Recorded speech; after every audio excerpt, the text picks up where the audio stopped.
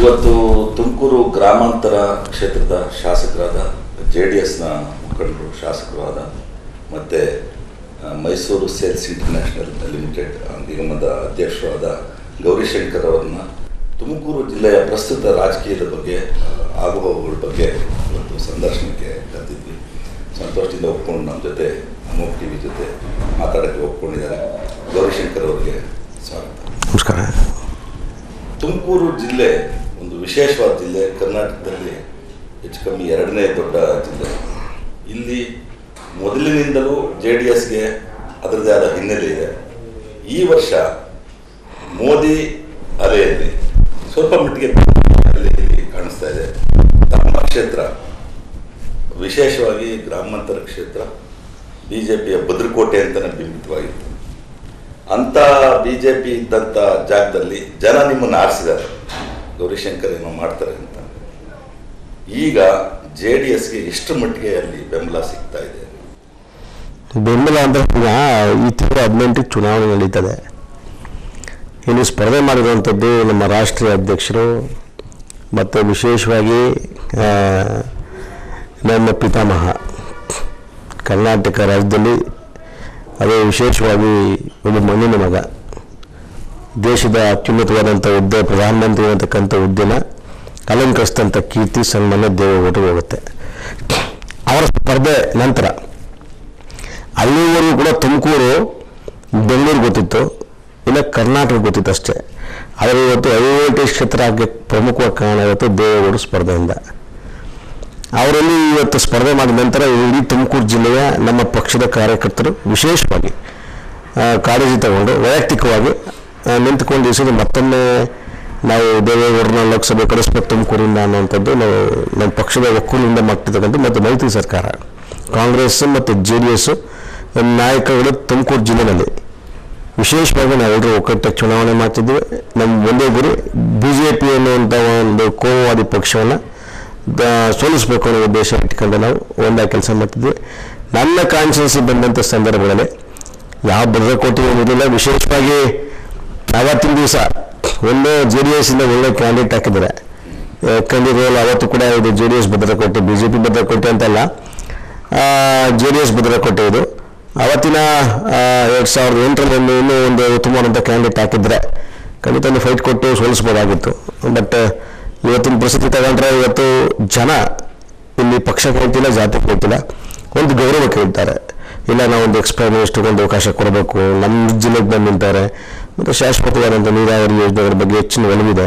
ಕೊಡೋ ಶಕ್ತಿ ಅವ್ರಿಗಿದೆ ಅನ್ನೋವಂಥದ್ದು ಮತದಾರಗಳಿದೆ ಸೊ ನನ್ನ ಕಾನ್ಸಿಯಸ್ ಬಂದಾಗ ವಿ ಆರ್ ಅಪ್ಪರ್ ಹ್ಯಾಂಡ್ ಈಗ ದೇವೇಗೌಡರ ಬಗ್ಗೆ ಮಾತಾಡ್ತಾ ಇದ್ರಿ, ಮಾಜಿ ಪ್ರಧಾನಿಗಳು ತುಂಬ V I P candidate Tumakuru ಜಿಲ್ಲೆ ಈ ಸಾರಿ ಪಡೆದಿದೆ ದೇವೇಗೌಡರು ಬರೋ ವಿಷಯ ತಮ್ಗೆ ಮೊದಲೇ ಗೊತ್ತಿತ್ತ. ಅಥವಾ ತಾವು ಕಿವಿ ಮಾತು ಹೇಳಿದ್ರ, ಬನ್ನಿ ಸೇಫ್ ಇದೆ. ತುಮಕೂರಿಗೆ ಬಂದರೆ ತಮಗೆ ಆಯ್ಕೆ ಸುಲಭ ಆಗುತ್ತೆ ಅನ್ನೋದಿಲ್ಲ ಇಲ್ಲ ಇಲ್ಲ ಇಲ್ಲ. ಇಲ್ಲ, ಸದ್ಯಕ್ಕೆ ಚರ್ಚೆ ಇರಲಿಲ್ಲ. ಈ ನಮ್ಮ ಮೈತ್ರಿ ಧರ್ಮ ಅಂತವನ್ನು ಪಾಲನೆ ಮಾಡಬೇಕಾಗಿತ್ತು ಕಾಂಗ್ರೆಸ್ ಮತ್ತು ಜೆ ಡಿ ಎಸ್. ನಿನ್ನೆ ರಾತ್ರಿ ಕೂಡ ನಾನು ದೇವೇಗೌಡರನ್ನ ಮೀಟ್ ಮಾಡಿದ್ದೆ. ಆವಾಗ ಮಾತುಕತೆ ಮಾಡಬೇಕಾದಾಗ ಅವರು ಹೇಳಿದರು, ಇಲ್ಲ, ಒಂದು ಕಡೆ ಸಿದ್ದರಾಮಯ್ಯ ಮೈಸೂರನ್ನ ಉಳಿಸ್ಕೋಬೇಕು ಅನ್ನೋ ಉದ್ದೇಶ ಇಟ್ಕೊಂಡು ತುಮಕೂರು ಬಿಟ್ಕೊಡುವಂಥ ಕೆಲಸ ಕಾಂಗ್ರೆಸ್ನವ್ರು ಮಾಡಿದ್ರು. ನಾವು ಯಾವುದೇ ಕಾರಣಕ್ಕೂ ತುಮಕೂರು ಕೇಳಿರಲಿಲ್ಲ. ನಾವು ಕೇಳಿದ್ದು ಯಾಕಂದರೆ ಆರ್ ಎಸ್ ಸಂಸದರಿರ್ತಕ್ಕಂಥ ಹತ್ತು ಕ್ಷೇತ್ರ ಕೂಡ ಅವರೇ ಮಾಡ್ಕೋಬೇಕು ಅಂತ ತೀರ್ಮಾನ ಆಗಿತ್ತು. ಬಟ್ ಇಲ್ಲಿ ಸಿದ್ದರಾಮಯ್ಯ ಒಂದು ಕಡೆ ಮೈಸೂರನ್ನ ತಗೋಬೇಕು ಅನ್ನೋದಕ್ಕೆ ಅವರ ಸ್ವಂತ ಕ್ಷೇತ್ರ ಒಂದು ಕಾನ್ಸ್ಟಿಟ್ಯೂನ್ಸಿ ಸ್ವಂತ ಜಿಲ್ಲೆ ಅವ್ರದ್ದು. ಹಾಗಾಗಿ ಮೈಸೂರು ತಗೋಬೇಕು ಅನ್ನೋ ಉದ್ದೇಶ ಇಟ್ಕೊಂಡು ತುಮಕೂರನ್ನ ಬಿಟ್ಕೊಡುವಂಥ ಪ್ರಸಂಗ ಆಯಿತು. ಜೊತೆಯಲ್ಲಿ ದೇವೇಗೌಡರು ಯಾವುದೇ ಕಾರಣಕ್ಕೂ ತುಮಕೂರು ಕಂಟೆಸ್ಟ್ ಮಾಡ್ತಿದ್ರು ನಮಗೂ ಕನಸಿತ್ತು ಯಾವುದೇ ಕಾರಣಕ್ಕೂ ನಮಗೆಲ್ಲ ಒಂದು ಕಡೆ ಆಶ್ಚರ್ಯ ಸರ್ಪ್ರೈಸ್ ಅದು. ಆಮೇಲೆ ತುಮಕೂರು ಬಿಟ್ಟು ಕೊಟ್ಟ ನಂತರ ಈಗ ಮುದನ್ನೇಗೌಡರು ಮತ್ತು ಪರಮೇಶ್ವರ್ ಅವರು ಸನ್ಮಾನ್ಯ ದೇವೇಗೌಡರು ಮನೆಗೆ ಹೋಗಿ ಮೀಟ್ ಮಾಡಿ ನೀವು ತುಮಕೂರು ಬನ್ನಿ. ನೀವು ಬಂದರೆ ನಾವು ಬೇಕಾದ್ರೆ ನಮ್ಮ ಎಲ್ಲ ಒಟ್ಟಿಗೆ ಕೆಲಸ ಮಾಡ್ತೀವಿ ಅನ್ನೋಂಥ ಒಂದು ಮಾತು ಹೇಳಿದ ನಂತರ ದೇವೇಗೌಡರು ಪರಿಶೀಲನೆ ಮಾಡೋಕ್ಕೆ ಶುರು ಮಾಡ್ಕೊಂಡ್ರು.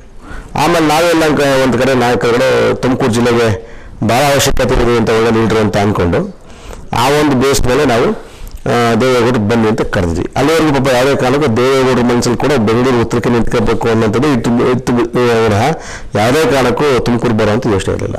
ಒಂದು ಕಡೆ ಹಾಲಿ ಸಂಸದರು ಮೋದಿ ವೇವ್ ಇದ್ದಂಥ ತುಮಕೂರು ಜಿಲ್ಲೆಯಲ್ಲಿ ಕಾಂಗ್ರೆಸ್ ಕಾಂಗ್ರೆಸ್ಸಿಂದನೇ ಸಂಸದರನ್ನು ಆಯ್ಕೆ ಮಾಡಿದ್ರು ಹೌದು. ಗ್ರಾಮಾಂತರ ಕ್ಷೇತ್ರದಲ್ಲಿ ಕಾಂಗ್ರೆಸ್ ಮತ್ತು ಜೆ ಡಿ ಎಸ್ ಪ್ರಬಲವಾಗಿದ್ದಂಥ ಟೈಮಲ್ಲಿ ಮುದ್ದಮ್ಮೇಗೌಡರು ಅವತ್ತು ಅನ್ಯಾಯ ಆಗಿತ್ತು ಮತ್ತು ಕುಣಿಗಲ್ಲಲ್ಲೂ ಅನ್ಯಾಯ ಆಗಿತ್ತು. ಅದೇ ರೀತಿ ಈ ಸರಿ ತುಮಕೂರು ಲೋಕಸಭಾ ಕ್ಷೇತ್ರದಲ್ಲೂ ಸ್ವಲ್ಪ ಮಟ್ಟಿಗೆ ಜನಪರ ಕಾಳಜಿ ಅಂತ ಸಂಸದರಾದ ಮುದ್ದನ್ಮೇಗೌಡರಿಗೆ. ಸೀಟ್ ತಪ್ಪಿಸಿದ್ದು ಎಲ್ಲ ಒಂದು ಕಡೆ ಜೆ ಡಿ ಎಸ್ಗೆ ಹೊಡೆತ ಬೀಳುತ್ತಾ ಅನ್ನೋದು. ಅಲ್ಲ ಸೀಟ್ ತಪ್ಪಿಸೋಕ್ಕೆ ನಾವ್ಯಾರು? ಮುದ್ದನ್ಮೇಗೌಡರು ಎಂ ಪಿ ಆಗಿದ್ದಂಥದ್ದು ಕಾಂಗ್ರೆಸ್ ಪಾರ್ಟಿನಲ್ಲಿ.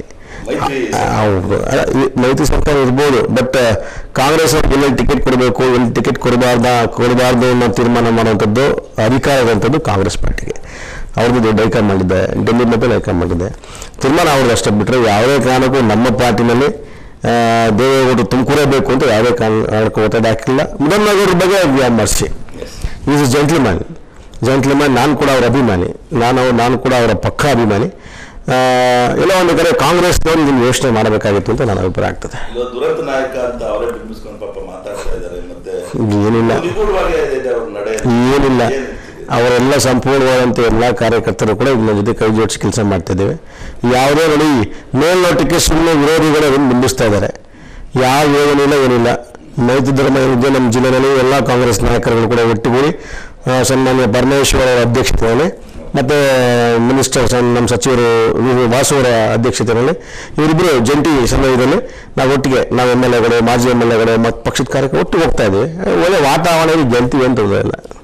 ಕೆಲವು ತಾಲೂಕುಗಳಲ್ಲಿ ಈಗ ಮೈತ್ರಿ ಸರ್ಕಾರ ಮತ್ತೆ ಮೈತ್ರಿ ಧರ್ಮ ಪಾಲನೆ ಮಾಡ್ತಾ ಇದ್ದಾರೆ ಕೆಲವು ಶಾಸಕರು ಅಥವಾ ಮಾಜಿ ಶಾಸಕರು ಮತ್ತು ಹಾಲಿ ಮುಖಂಡರುಗಳು ಏನು ಕಾಂಗ್ರೆಸ್ ಅಲ್ಲಿ ಇದ್ದಾರೆ ಅವ್ರ ಹಿನ್ನೆಲೆಯಲ್ಲಿ ಅಷ್ಟರ ಮಟ್ಟಿಗೆ ಜೆ ಡಿ ಎಸ್ ಪರ ಒಲವು ತೋರಿಸ್ತಾ ಇಲ್ಲ ಅನ್ನೋ ಆಪಾದನೆಗಳು ಜಾಸ್ತಿ ಗುರುತರವಾದ ಆರೋಪಗಳು ಕೂಡ ಇದೆ. ಯಾರು ಹೇಳ್ತಾ ಇದ್ದಾರೆ ಆ ಕಾರ್ಯತಂತ್ರಗಳನ್ನ ಅಲ್ಲ ಯಾರು ಹೇಳ್ತಾ ಇದ್ದಾರೆ ಅಥವಾ ನಮ್ಮ ಅಲ್ಲಿ ಸ್ಥಳೀಯವಾಗಿ ಮಾಜಿ ಎಂ ಎಲ್ ಎಗಳು ಅಥವಾ ಹಾಲಿ ಎಂ ನಮ್ಮಲ್ಲಿ ಪರಸ್ಪರ ಎಲ್ಲ ಒಂದು ಕಡೆ ವಿರೋಧ ಇದೆ ಅಂತ ಹೇಳ್ತಾ ಇದ್ದಾರಾ? ಇಲ್ವಲ್ಲ?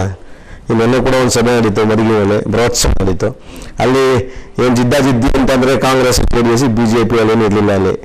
ಇವತ್ತೂ ಇಲ್ಲ ಅಲ್ಲಿ ಬಿ ಜೆ ಪಿ ಮಡಿಗೆಯಲ್ಲಿ ಕಾಂಗ್ರೆಸ್, ಜೆ ಡಿ ಎಸ್ ಜಿದ್ದೆ ಅಂತಂದು ರಾಜಣ್ಣ ಅವರು ಮತ್ತು ವೀರಭದ್ರಯ್ಯ, ಎಲ್ಲ ಒಟ್ಟಿಗೆ ದೇವೇಗೌಡರು ಸಿದ್ದರಾಮಯ್ಯ ಇಬ್ರಾಹಿಂ ಸಾಹೇಬ್ರು ಅಂತ ಒಟ್ಟಿಗೆ ಕಾರ್ಯ ಸ್ಟೇಟ್ಮೆಂಟ್ ಕಾಣಿಸ್ಕೊಂಡು ಒಂದು ಸ್ಟೇಟ್ಮೆಂಟ್ ಹಾಕೋದು ರಾಜಣ್ಣ ಅವರು ಒಟ್ಟಿಗೆ ವೈದ್ಯ ಧರ್ಮ ಪಾಲನೆ ಮಾಡಬೇಕಾಗ್ತದೆ. ದೇವೇಗೌಡರಿಗೆಲ್ಲ ಮಾಡಬೇಕು ಅಂತ ಯಾರು ಅವರು ಫರ್ಮಾನ್ ಕೊಟ್ಟಿರೋದು. ವಿಶೇಷವಾಗಿ ನಮ್ಮ ಜಿಲ್ಲೆಯಲ್ಲಿ ಅಂಥ ಸಮಸ್ಯೆ ಇಲ್ಲ. ಮೈತ್ರಿ ಇವತ್ತಿನ ಲೋಕಸಭಾ ಚುನಾವಣೆ ಟೈಮಲ್ಲಿ ಮೈತ್ರಿ ಧರ್ಮ ಓಕೆ. ತಾವು ಎಲ್ಲರೂ ಒಪ್ಕೊಂಡಿದ್ದೀರಿ. ಕಾಂಗ್ರೆಸ್ ಜೆ ಡಿ ಎಸ್ ಎರಡು ಪರಸ್ಪರವಾಗಿ ಸಂಬಂಧ ಬೆಳೆಸ್ಕೊಂಡು ಲೋಕಸಭಾ ಚುನಾವಣೆನ ಒಗ್ಗಟ್ಟಾಗಿ ಎದುರಿಸ್ತಾ ಇದ್ದೀರ ಅನ್ನೋದು. ಇದೇ ಅಥವಾ ಇದೇ ಸನ್ನಿವೇಶ ಮುಂದಿನ ಚುನಾವಣೆಗಳಲ್ಲೂ ಇರಬೇಕು ಅನ್ಸುತ್ತಾ ತಮ್ಗೆ ಬೇಡ ಅನ್ಸುತ್ತೆ? ನೋಡ್ಬೇಕು ಹೈಕಮಾಂಡ್ ಏನು ತೀರ್ಮಾನ ತಗೋತಾರೆ ನೋಡಬೇಕು. ಹೈಕಮಾಂಡ್ ನಮ್ಮ ನಮ್ಮ ರಾಷ್ಟ್ರೀಯ ಅಧ್ಯಕ್ಷರು ಮತ್ತು ಅವರ ರಾಷ್ಟ್ರೀಯ ಅಧ್ಯಕ್ಷ ಇರುವಂಥದ್ದು ಅದು ನ್ಯಾಷನಲ್ ಪಾರ್ಟಿ ಅದು. ಯಾವ ರೀತಿ ಮೈತ್ರಿ ನನ್ನ ಅಭಿಪ್ರಾಯ ಮುಂದುವರ್ಕೊಂಡು ಹೋಗ್ತದೆ ಅನ್ನೋಂಥದ್ದು ಐತೆ. ನೋಡ್ಬೇಕು ಹೈಕಮಾಂಡ್ ಏನು ತೀರ್ಮಾನ ತಗೋತಾರೆ ಕಾರ್ ನೋಡ್ಬೇಕಾಯ್ತದೆ ಅದಕ್ಕೆ. ಈಗ ದೊಡ್ಡದೊಂದು ದೇವೇಗೌಡರು ದೊಡ್ಡವರು ಇಲ್ಲಿಗೆ ಬಂದಿದ್ದಾರೆ. ಬಟ್ ತುಮಕೂರಿನ ಜನ ಹೇಮಾವತಿ ನೀರಿನ ಬಗ್ಗೆ ಅವರ ಮೇಲೆ ವಿಪರೀತವಾದ ಆರೋಪಗಳು ಜಾಸ್ತಿ ಇದೆ. ನೀರು ಬಿಡಲಿಲ್ಲ ನಮಗೆ. ದೇವೇಗೌಡರು ಕುಟುಂಬನೇ ನೀರು ಬರಲಿಕ್ಕೆ ಅಡ್ಡಿಪಡಿಸಿದ್ರು ಅನ್ನೋದು ದೊಡ್ಡದೊಂದು ಆರೋಪ ಇದೆ. ಇದಕ್ಕೆ ತುಮಕೂರು ಜನರು ಹೇಳ್ತಿಲ್ಲ ಅದು ವಿರೋಧ ಪಕ್ಷ ಹೇಳ್ತಾ ಅಷ್ಟೇ. ಪಾಪ, ಅದು ಕರೆಕ್ಟಾಗಿ ಇರೋವಂಥ ಸತ್ಯ ಘಟನೆಗಳು ಗೊತ್ತಿಲ್ಲ ಪಾಪ. ವಿರೋಧ ಪಕ್ಷದವ್ರಿಗೆ ಏನೋ ಒಂದು ಅಸ್ತ್ರ ಬೇಕಲ್ವೇ? ಆ ಅಸ್ತ್ರ ಹೇಮಾವತಿ ಇಟ್ಕೊಂಡು ಹೋಗ್ತಾರೆ. ನಾನು ಬಿ ಜೆ ಪಿನವರು ಒಂದು ಪ್ರಶ್ನೆ ಕೇಳ್ತೀನಿ. ಎರಡು ಸಾವಿರದ ಎಂಟರಲ್ಲಿ ನಾನು ಕೂಡ ಇದೇ ಜಿ ಎಸ್ ಬಸವರಾಜ್ ಅವರ ಪರವಾಗಿ ನಾನು ಚುನಾವಣೆ ಮಾಡಿದೆ ಮಧುಗಿರಿನಲ್ಲಿ ಸುಮಾರು ಇಪ್ಪತ್ತೆಂಟು ಸಾವಿರ ಓಟ್ ಕೊಡ್ತೆ ಮಧುಗಿರಿನಲ್ಲಿ ಆ ಟೈಮಲ್ಲಿ ಅವರು ಏನು ಮಾತು ಹೇಳ್ತಿದ್ರು, ನೇತ್ರಾವತಿ ತಿರುಗಿ ಯೋಜನೆ ತಗೊಂಡು ಬರ್ತೀವಿ ತುಮಕೂರಿಗೆ ಅಂತ ಕೂಡ ಚರ್ಚೆ ಮಾಡಿದ್ರು ಏನೈತೆ ಅದು ನೇತ್ರಾವತಿ ತಿರುವು ಪ್ರಶ್ನೆ ಆಯಿತು. ಸನ್ಮಾನ್ಯ ಮೋದಿಯವರು ಪ್ರೈಮ್ ಮಿನಿಸ್ಟರ್ ಆಗಿದ್ದರು ದೇಶದಲ್ಲಿ. ಇಷ್ಟು ಹದಿನೈದು ಜನ ಎಂ ಪಿಗಳಿದ್ದರು ಕರ್ನಾಟಕದಲ್ಲಿ ಆಯ್ಕೆ ಮಾಡಿ ಕಳಿಸ್ಕೊಟ್ರು. ಅಟ್ಲೀಸ್ಟ್ ಅವರು ಹೇಮಾವತಿ ಬಗ್ಗೆ ಚರ್ಚೆ ಮಾಡ್ಬೋದಾಗಿತ್ತು ಯಾಕೆ ಚರ್ಚೆ ಮಾಡಲಿಲ್ಲ? ಇವತ್ತು ಯಾವುದೋ ಒಂದು ಅಸ್ತ್ರ ಬೇಕು ನಿಮಗೆ ಯೂಸ್ ಮಾಡ್ಕೊಳಕ್ಕೆ ಹೋಗ್ತಿದ್ದೀರಿ. ನೋಡಿ, ಇಡೀ ದೇಶದ ಇತಿಹಾಸದಲ್ಲಿ ನೀರಾವರಿ ತಜ್ಞ ಅಂತಂದರೆ ಗೊತ್ತು. ನನ್ನ ಪಕ್ಷ ನನ್ನ ಪಾರ್ಟಿ ನಮ್ಮ ರಾಷ್ಟ್ರೀಯ ಅಧ್ಯಕ್ಷ ಅಂತ ಹೇಳ್ತಿಲ್ಲ. ಕೃಷಿ ಮತ್ತು ನೀರಾವರಿ ಯೋಜನೆಗಳು ಬಂದಾಗ ಬಹಳ ಪ್ರಮುಖವಾಗಿ ಎರಡೆಯಾಗಿ ಎಲ್ಲ ಡ್ಯಾಮ್ ತಗಡೆ ನದಿ ಜೋಡಣೆಗಳ ತಗಡೆ ಎಲ್ಲವನ್ನೂ ಕೂಡ ವಿಚಾರವನ್ನು ಗೊತ್ತಿರತಕ್ಕಂಥದ್ದು ಸನ್ಮಾನ್ಯ ದೇವೇಗೌಡರು. ಈಗಾಗಲೇ ಮೊನ್ನೆ ಕೂಡ ಒಂದು ನಮ್ಮ ಪ್ರಣಾಳಿಕೆಯನ್ನು ಕೂಡ ಒಂದು ಎಂಟು ದಿವಸದ ಮುಂಚೆ ಘೋಷಣೆ ಮಾಡಬೇಕಾದಾಗ ಒಂದು ಚರ್ಚೆ ಆಯಿತು. ಶಾಶ್ವತವಾದಂಥ ನೀರಾವರಿ ಕೊಡಬೇಕು ತುಮಕೂರಿಗೆ ಅನ್ನೋಂಥದ್ದು ಕೂಡ ನನ್ನ ಮನಸ್ಸಲ್ಲಿದೆ ಅಂತ ಈಗಾಗಲೇ ದೇವೇಗೌಡರು ಹೇಳಿರುವಂಥದ್ದು ದೇವೇಗೌಡರಿಗೆ ಒಂದು ಹೆಸರಿದೆ. ದೇವೇಗೌಡರು ಅಂತ ಅವರ ನಾಮ ನಾಮಾಂಕಿತ ಏನಿದೆಯೋ ಅದರ ಮೇಲೆ ಒಂದು ಶಕ್ತಿ ಇದೆ. ಭಾಳ ಈಸಿ ಬರೋ ಸಮಸ್ಯೆ ಆಗಲ್ಲ ನಾವು ಇನ್ನು ಹೋದರೆ ಇಪ್ಪತ್ತು ವರ್ಷದಿಂದ ಆಗಿರೋಂಥದ್ದಕ್ಕೆ ಪ್ರಯತ್ನ ಪಡ್ಬೋದಾಯ್ತಲ್ಲ? ತರಲಿಲ್ವಲ್ಲ? ಈಗ ನೇತ್ರಾವತಿ ತಿರುವು ಯೋಜನೆ ಹೇಳಿದ್ರಿ. ನಿನ್ನೆ ಮಾಜಿ ಸಂಸದರು ಬಸವರಾಜು ಮತ್ತು ಹಾಲಿ ಲೋಕಸಭಾ ಅಭ್ಯರ್ಥಿ ಅವ್ರು ಹೇಳ್ತಾರೆ ನೇತ್ರಾವತಿ ಎರಡನೇ ಎತ್ನೊಳೆದು ಅನ್ನೋ ಇವರ ಇದೇನಲ್ಲ ನಮ್ಮದೇ ಅದು ಕೆಲಸ ಅಂತ? ದಾಖಲೆ ಕೂಡ ಕೇಳಿ ಅದನ್ನ. ದಾಖಲೆ ಕೂಡ ಕೇಳಿ ನಾನು ದಾಖಲೆ ತಗೊಡ್ತೀನಿ ದಾಖಲೆ ಕೂಡ ಕೇಳಿ. ಏನಿದು ಕೂಡ ಇಟ್ಟಂತ ಮಾಡೋ ರನ್ ಪದ್ಧತಿ ಬೇಡ ಆಗಲಿ ಅವರಾಗಲಿ ನಾವಾಗಲಿ. ಏನೇ ಆರೋಪ ಮಾಡಬೇಕಾದಾಗ ದಯವಿಟ್ಟು ದಾಖಲಾತಿಗಳು ಇಟ್ಕೊಂಡು ಮಾಧ್ಯಮದಲ್ಲಿ ಒಟ್ಟು ಕೂರಿಸ್ಕೊಂಡು ರಾಜ್ಯದ ಎಲ್ಲ ಮಾಧ್ಯಮದಲ್ಲಿ ಒಟ್ಟು ಕೂರಿಸ್ಕೊಂಡು ದಾಖಲಾತಿ ತಗೊಂಡು ಚರ್ಚೆಗೆ ಬರಲಿ. ಮಾತಾಡೋಕೆ ನಾವು ಕೂಡ ಸಿದ್ಧ ಇದ್ದೀವಿ. ಸುಮ್ಮನೆ ಇಟ್ ಅಂಡ್ ಪದ್ಧತಿಗೆ ನಾವೆಲ್ಲ ಪ್ರತಿಕ್ರಿಯೆ ಕೊಡೋದು ಸೂಕ್ತವಲ್ಲ ಅನ್ನೋದು ನನ್ನ ಅಭಿಪ್ರಾಯ ಆಗ್ತದೆ. ಮೈತ್ರಿ ಧರ್ಮದಲ್ಲಿ ಜೆ ಡಿ ಎಸ್ ಜೊತೆ ಸೇರಿಕೊಂಡು ಕಾಂಗ್ರೆಸ್ ಬಿಜೆಪಿ ಆರೋಪ ಮಾಡ್ತಿರೋದು ದೊಡ್ಡದೊಂದು ಆರೋಪ ಇದೆ. ಏನಂದ್ರೆ ಕಾಂಗ್ರೆಸ್ ಜಿಲ್ಲೆಯಿಂದನೇ ಮಾಯ ಆಗೋಗ್ಬಿಡುತ್ತೆ. ಜೆ ಡಿ ಎಸ್ ಜೊತೆ ಮೈತ್ರಿ ಮಾಡ್ಕೊಂಡಿರೋದಕ್ಕೆ ಅಂತ ಮಠದಲ್ಲಿ ಸೋಮಣ್ಣ ಅವರು ಮಾತಾಡಿದ್ದಾರೆ.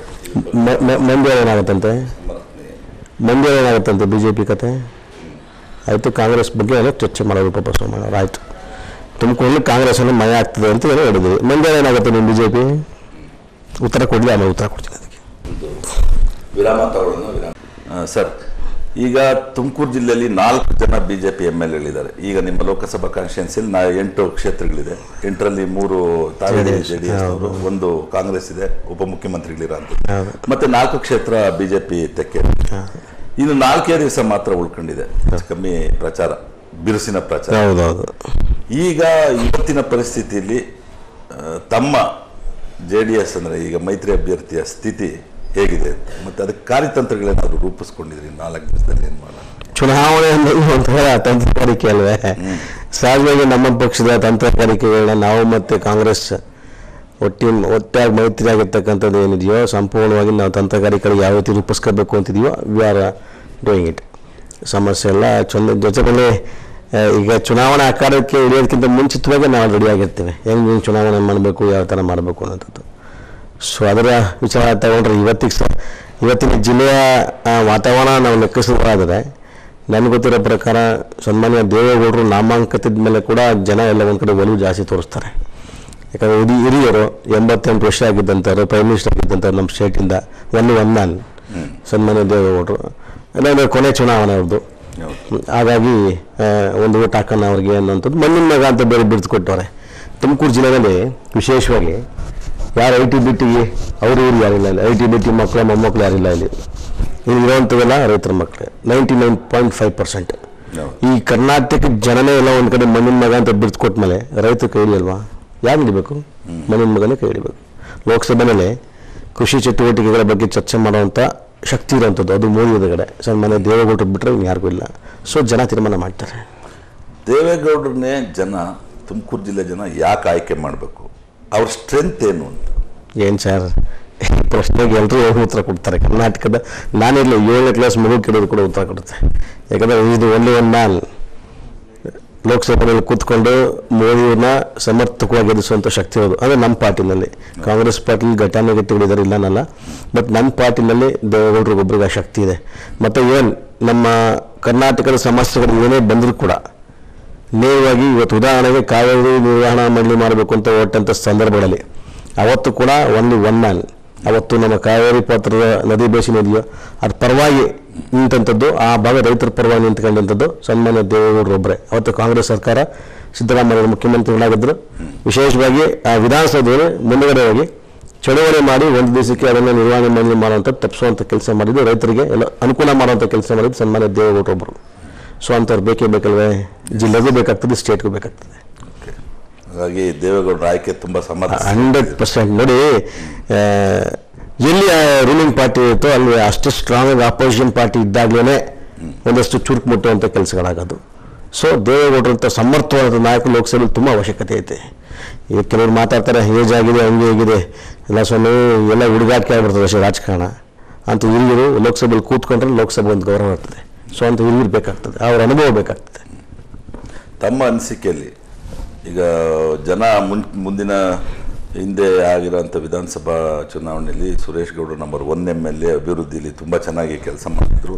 ಅಂಥ ಕಡೆ ಗೌರಿಶಂಕರ್ ಅವರನ್ನು ಆಯ್ಸಿ ಕಳಿಸಿದ್ದೀವಿ ಎಷ್ಟು ಮಟ್ಟಿಗೆ ಅವರ ಆಯ್ಕೆಯನ್ನು ಸಮರ್ಥಿಸ್ಕೊಂಡು ಇಲ್ಲಿ ಜೆ ಡಿ ಎಸ್ಗೆ ಬಹುಮತ ಕೊಡಿಸ್ತೀರಿ ಅನ್ನೋದೊಂದು ಈ ಬಗ್ಗೆ ನೋಡಿ, ಈಗ ಅಷ್ಟೊಂದು ಡೆವಲಪ್ಮೆಂಟ್ ಮಾಡಿ ನಂಬರ್ ಒನ್ ಅದು ಇದು ಅಂತ ತಗೊಳ್ಳೋದಾದರೆ ನಾನೇ ಜನ ಗೆಲ್ಲಿಸ್ಬೇಕಾಗಿತ್ತು ಅಭಿವೃದ್ಧಿ ಮಾಡ್ಕೊಂಡು ಜನರು ವಿಶ್ವಾಸ ತಗೊಂಡು ಹೋಗಿದ್ರೆ ಅವ್ರನ್ನ ನನ್ನನ್ನೇ ಕಲಿಸ್ಬೇಕಾಗೈತಿ ನೋಡೋಣ ಎಲ್ಲ ಒಂಥರ ಅವ್ರಿಗಿಂತ ಹೆಚ್ಚೊಂದಾಗಿ ಪರವಾಗಿಲ್ಲ ಕಣಪ್ಪ. ಈತನೇ ಬೆಸ್ಟ್ ಅನ್ನೋಂಥ ಮಟ್ಟಿಗೆ ಜನ ತೀರ್ಮಾನ ಮಾಡಿ ಜನತಾ ನ್ಯಾಯಾಲಯನೇ ಭಾಳ important they decide and give chance we are working ಸಮಸ್ಯೆ ಇಲ್ಲ. ಸೊ ಜನ ಡಿಸೈಡ್ ಮಾಡಿದ್ಮೇಲೆ ಅದು ತಲೆಗಾಗಲೇಬೇಕಲ್ಲ ನಾನಾಗಲಿ ಅವರಾಗಲಿ ಹೌದು. ಈಗ ಈ ಲೋಕಸಭಾ ಕಾನ್ಸ್ಟಿಟ್ಯೂನ್ಸಿಲಿ ತಮ್ಮ ಗ್ರಾಮಾಂತರ ಕ್ಷೇತ್ರದಿಂದ ಎಷ್ಟು ಮತಗಳಿಂದ ಜಾಸ್ತಿ ಮುಂದೆ ನಿಮ್ಮ ನಿರೀಕ್ಷೆ ಇದೆ. ನನ್ನ ನನ್ನ ನನ್ನ ಅಭಿಪ್ರಾಯ ಇವತ್ತಿಗೆ ಇವತ್ತಿಗೆ ಒಂದು ಇಪ್ಪತ್ತೈದರಿಂದ ಮೂವತ್ತು ಸಾವಿರ ಲೀಡ್ ತಗೋತೀವಿ ನಮ್ಮ ಕಾನ್ಸ್ಟಿಟ್ಯೂನ್ಸಿ ಅನ್ನೋಂಥ ವಾತಾವರಣ ಸದ್ಯಕ್ಕಿದೆ ಇನ್ನೂ ಹೆಚ್ಚಿನ ಪ್ರಯತ್ನ ಪಡಬೇಕು ಅಂತ ನಾಳೆ ಕಾರ್ಯಕರ್ತರಿಗೆ ಮನವಿ ಮಾಡಿದ್ದೇವೆ. ಸೊ ನಮ್ಮ ಕಾರ್ಯಕರ್ತರು ಪಾಪ ನೈಟು ಡೇ ಹಗಲು ಕೆಲಸ ಮಾಡ್ತಾರೆ. ನಾವು ರೀಚ್ ಆಗ್ತೀವಿ ಅಂತ ಒಂದು ವಿಶ್ವಾಸ ಆಯಿತು ನನಗೆ. ಗೌರಿಶಂಕರ್ ಬಗ್ಗೆ ತುಮಕೂರು ಜಿಲ್ಲೆ ಜನ ಅವರ ಕಾನ್ಸ್ಟಿಟ್ಯೂನ್ಸಿನ ತುಂಬ ಚೆನ್ನಾಗಿ ಕಾಪಾಡ್ಕೊಳ್ತಾರೆ ತುಂಬ ಜತನದಿಂದ ಕಾಪಾಡ್ತಾರೆ ಗೌರಿಶಂಕರ್ ಬೇರೆ ಕಾನ್ಸ್ಟಿಟ್ಯೂನ್ಸಿಗಳ ಬಗ್ಗೆ ಅಷ್ಟು ಒಲವು ತೋರಿಸಲ್ಲ. ತಮ್ಮ ಸಕ್ಸಸ್ ಅಂದರೆ ನಿಮ್ಮ ಯಶಸ್ಸಿನ ಗುಟ್ಟೇನು? ಅಲ್ಲ ಗುಟ್ ಪ್ರಶ್ನೆಯಲ್ಲಿ ಏನಾಗ್ತದೆ ನೋಡಿ ಈಗ ಇನ್ನೊಂದು ಕಾನ್ಸ್ಟಿಟ್ಯೂನ್ಸಿ ಬಗ್ಗೆ ಈಗ ಉದಾಹರಣೆ ಮಧುಗಿರಿ ಕೋಟ್ಕೆರೆ ಇವೆಲ್ಲ ನಮ್ಮ ಹಳೆ ಕ್ಷೇತ್ರಗಳು. ಅಲ್ಲಿ ಹೋಗ್ಬೇಕಾದ್ರೆ ಏನಾಗ್ತದೆ ಅಲ್ಲಿ ಲೋಕಲ್ ಎಂ ಎಲ್ ಇರ್ತಾರೆ. ಅವ್ರು ನೋಡ್ಕೊಳ್ತಾರೆ. ಮತ್ತು ಅಲ್ಲಿ ಡಿಫಿಟೆಡ್ ಕ್ಯಾಂಟ್ ಅವರು ಕೊಟ್ಟಿರಲಿ ಸುಧಾಕರ್ ಲಾಲ್ ಅವ್ರು ನೋಡ್ಕೊತಾರೆ ಹೀಗಿದ್ದಾಗ ನನ್ನ ಕಾನ್ಫರೆನ್ಸ್ ಬಗ್ಗೆ ಹೆಚ್ಚಿನ, ಯಾಕಂದ್ರೆ ಜನ ದೊಡ್ಡ ವಿಶ್ವಾಸ ಇಟ್ಟವ್ರೆ. ಗೌರಿಶಂಕರ್ ಭಾಳ ಹತ್ರ ಸಿಗ್ತಾರೆ ಓದೋರಿಗೆಲ್ಲ ಒಂದು ಪ್ರೀತಿ ಗೌರವ ಕೊಡ್ತಾರೆ, ಮತ್ತು ಯಾವುದಕ್ಕೂ ಇಲ್ಲ ನನ್ನ ಮತ್ತು ನಮ್ಮ ಮನೆಗಳಲ್ಲಿ ವಿಶೇಷವಾಗಿ ಏನಪ್ಪ ಅಂದರೆ ಯಾವ ಕ್ಯಾಸ್ಟು ಯಾವ ಜಾತಿ, ಅದು ಇದು ನಮ್ಮ ಮನೇಲಿ ಇಲ್ಲ. ಎರಡೂ ತಪ್ಕೊತೀವಿ ಬಡವ ಬಲ್ಲಿಗ ಶ್ರೀಮಂತ ಅನ್ನೋ ಭಾವನೆ, ಬೇರೆ ಭಾವನೆ ಇಲ್ಲ. ವಿಶೇಷವಾಗಿ ಯಾರೇ ಬಂದರೂ ಕೂಡ ನನ್ನ ಕೈಲಾದ ಸಹಾಯ ಮಾಡಿಕೊಂಡು ಮತ್ತೆ ಜನರ ಪ್ರೀತಿ ವಿಶ್ವಾಸ ಗಳಿಸ್ತಾ ಇದೀವಿ. ಸೊ ಅದು ಬಿಟ್ಟರೆ ನಮ್ಮಲ್ಲಿ ಗುಟ್ಟೇನಿಲ್ಲ ಆಮೇಲೆ ಜನ ಯಾರೇ ಬಂದರೂ ಕೂಡ ನಮ್ಮ ಮನೆಗೆ ಬಂದಾಗ ಫಸ್ಟ್ ಅವರಿಗೆ ಅತಿಥಿಯಾಗಿ ಏನು ಗೌರವ ಕೊಡಬೇಕು. ನಮ್ಮಲ್ಲಿರೋ ಏನೋ ಗಂಜಿ ಏನೋ ಅದು ನಮ್ಮಲ್ಲಿ ಕೊಟ್ಟು ಕಳಿಸುವಂಥ ಸಂಸ್ಕೃತಿ ನಮ್ಮ ಮೊದಲೇ ಬೆಳೆಸ್ಕೊಂಬಂದಿದೆ ಯಾಕಂದರೆ ನಮ್ಮ ಇಡೀ ಕುಟುಂಬ ಸಿದ್ಧಗಂಗಾ ಮಠದಲ್ಲಿ ಇದ್ದಂಥದ್ದು ನನ್ನ ತಂದೆ ಕೂಡ ಅಲ್ಲಿ ಕೆಲಸ ಮಾಡಿರೋಂಥದ್ದು ಮತ್ತು ಅಲ್ಲೇ ಓದಿರೋಂಥ ಸಿದ್ಧಗಂಗಾ ಮಠದಲ್ಲಿ. ಶಿವಕುಮಾರ ಸ್ವಾಮೀಜಿಯವರು ಹಾಕಿರೋಂಥ ಆ ಒಂದು ಇದು ರೇಖೆ ಇದೆಯಲ್ಲ? ಸೊ ಅದನ್ನು ನಮ್ಮ ಕುಟುಂಬ ಮುಂದುವರ್ಸ್ಕೊಂಡು ಹೋಗ್ತಾ ಇದೀವಿ ಅಷ್ಟೇ. ಎಸ್ ಅವರ ಮಾರ್ಗದರ್ಶನ ಅವರ ಆಶೀರ್ವಾದ. ಓಕೆ. ವಿಶೇಷವಾಗಿ ನಾನು ಒಂದು ಮಾತು ಹೇಳಕ್ಕೆ ಬಯಸೋದು ನಮ್ಮ ರಾಜ್ಯದಲ್ಲಿ ಪ್ರಧಾನಮಂತ್ರಿ ಆಗುವಂಥ ಯೋಗ ಇದ್ದಿದ್ದು ಸನ್ಮಾನ್ಯ ದೇವೇಗೌಡರಿಗೆ ಮಾತ್ರ. ಓಕೆ. ಮುಂದೆ ಆಗ್ತಾರೋ ಯಾರು ಆಗ್ತಾರೋ ಗೊತ್ತಿಲ್ಲ ಅದು. ಅದು ಭವಿಷ್ಯ ಆಗಲ್ಲ ನಾನು ಭವಿಷ್ಯ ಏನೂ ಅಲ್ಲ. ಆದರೆ ಇವತ್ತು ಪ್ರತಿಪಕ್ಷದವರು ಒಬ್ಬ ಅರವತ್ತು ವರ್ಷದ ರಾಜಕೀಯ ಅನುಭವ ಇರೋಂಥ ಒಬ್ಬ ನಾಯಕನ್ನ ಮತ್ತು ಮಾಜಿ ಪ್ರಧಾನಮಂತ್ರಿಗಳನ್ನ ಎಲ್ಲ ಒಂದು ಕಡೆ ಅಭ್ಯರ್ಥಿ ಆಗ್ದಂಗೆ.